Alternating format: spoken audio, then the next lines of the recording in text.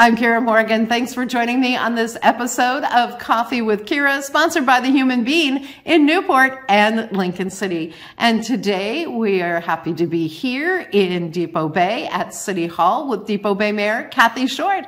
Kathy, how are you? Good, thank you. Thank you for having me here this morning, Kiera. Well, Depoe Bay has some exciting things going on, and we want to let the world know what's going on here. Um, so, first of all, Kathy, tell us a little bit about yourself and a little bit about being mayor of Depoe Bay. Oh, okay, sure. Well, um, I was, um, my first term started in uh, 2021 uh, as elected mayor, and then I was reelected, so I'm into my second term as mayor, and I feel very fortunate and honored to be in this position uh, to help my citizens and help my neighbors and friends. Um, not only do we provide services, but we're getting going on all kinds of other things to make things better here in the city. So yeah, and I've lived here in Depoe Bay full time now for almost 10 years. I've owned my home though for 23 years and uh, have just really enjoyed being a part of this community.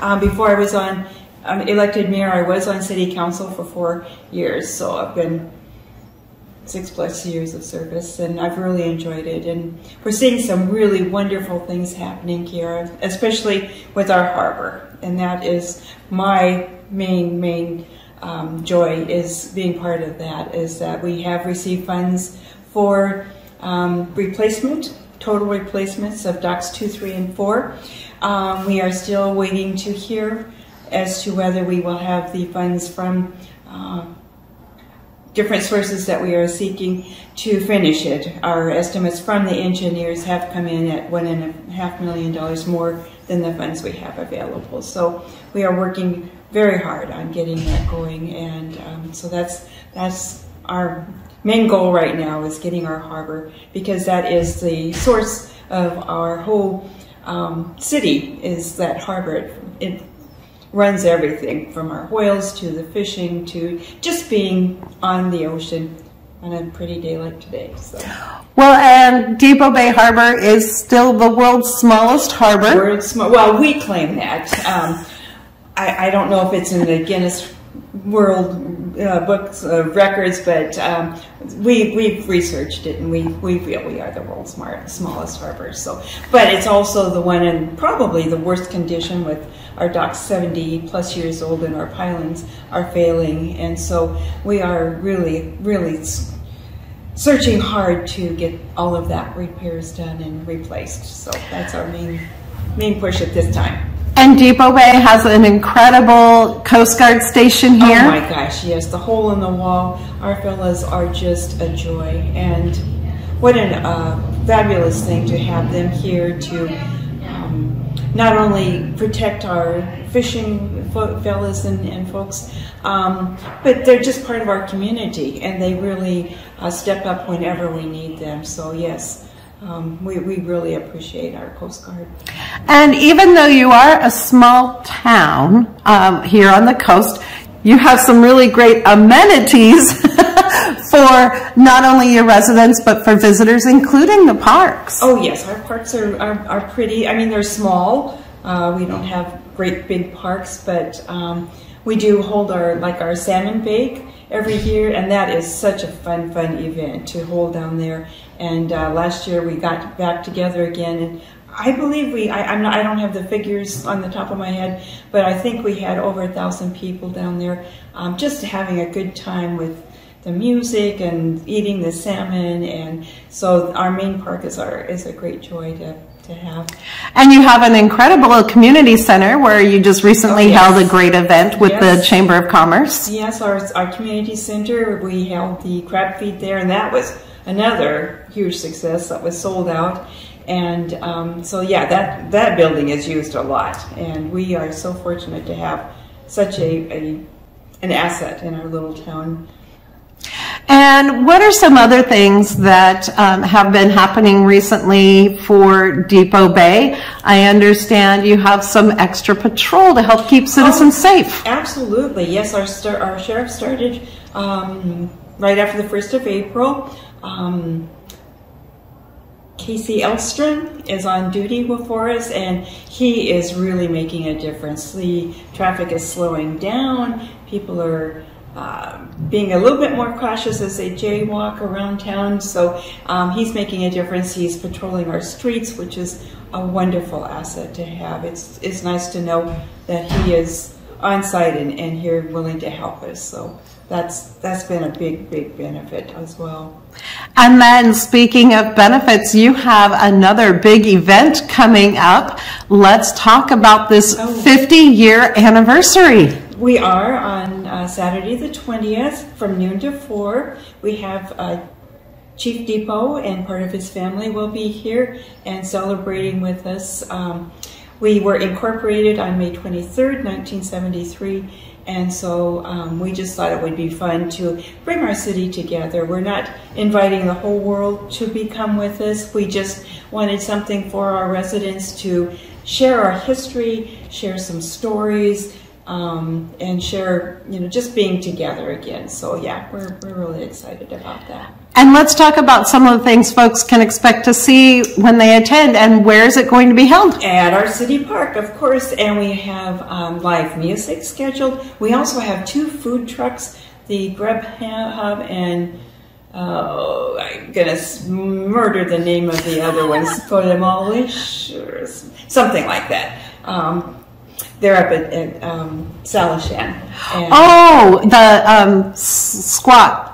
Squatchami. That's it. Yeah. Perfect. Thank you, dear. Thank you. I knew. I told you I had murdered it. So, anyway, yeah. we're looking forward to their food as well. We've heard great things about oh, it. So they're wonderful. Yeah. Yeah. yeah.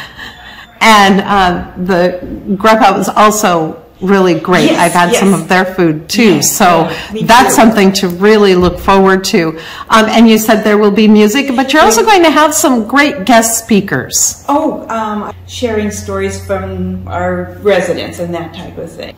And then we also have uh, things for our children. We have the Neighbors for Kids will be there with face painting, some other activities for them. So I'm really anxious to see them. And then we do have um, a beer garden plant from um, the horn will be there, so that's going to be fun, and all kinds of uh, birthday cake to celebrate with, and all kinds of events. So.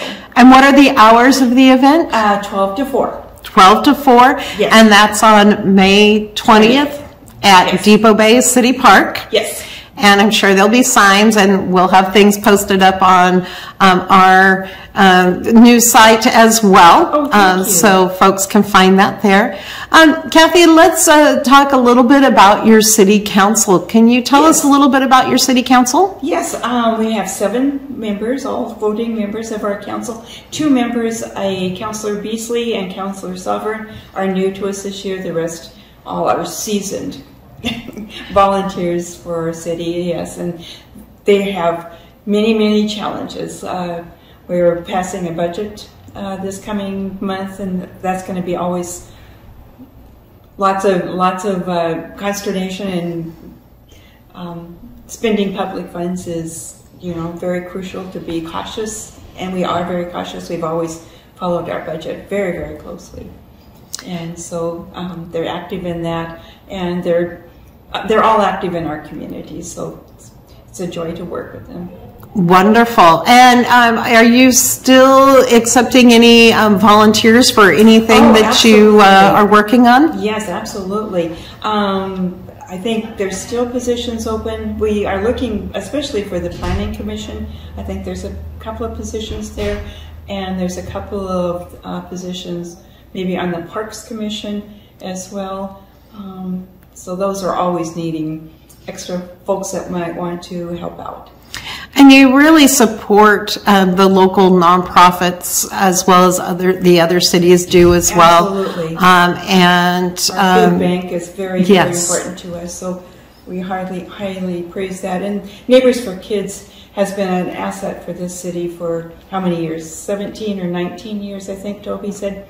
So yes, um, having them here is just so crucial to not only the children but the, the families so that they are know that their children are secure while they're working. And they do a lot of, I'll just do a little plug because they, I personally know that they do a lot to help families and they are very involved with community events um, as well Yes. throughout Depoe Bay. Yes. And so we deeply appreciate them. And like you said, the food bank, um, that is a wonderful, wonderful asset for folks in need here in this community. Uh, so let's see. Oh, and you also work closely with the local Depoe Bay Chamber of Commerce. Yes, yes, we've been helping out with their events and, and supporting getting them back and going with all of their activities. So yes, we're working, trying to work together, keeping the city going. And the city does work closely, uh, not only with the chamber, but works to help support the local businesses throughout Depoe Bay, right? Well, we try. I mean, we just collect their business licenses. um, but, you know, our fellows have been downtown this last week just cleaning the streets and cleaning everything up so it looks a little bit better. And um, so, we, yeah, we do absolutely support all of our businesses and, and hope that they prosper and Wonderful. bring in all of the tourists for us. And let's see, Kathy, is there anything else we might have missed that you'd like to add as we wrap up? I'm not thinking of anything right now, but All right, well, thank you so much for joining us Oh, on this thank you. episode of Coffee with Kiera. Again, we're sponsored by The Human Bean in Newport at 6th Street and Highway 101 and in Lincoln City at the north end of the highway on the west side near TLC Credit Union. For Oregon Coast Breaking News, I'm Kiera Morgan.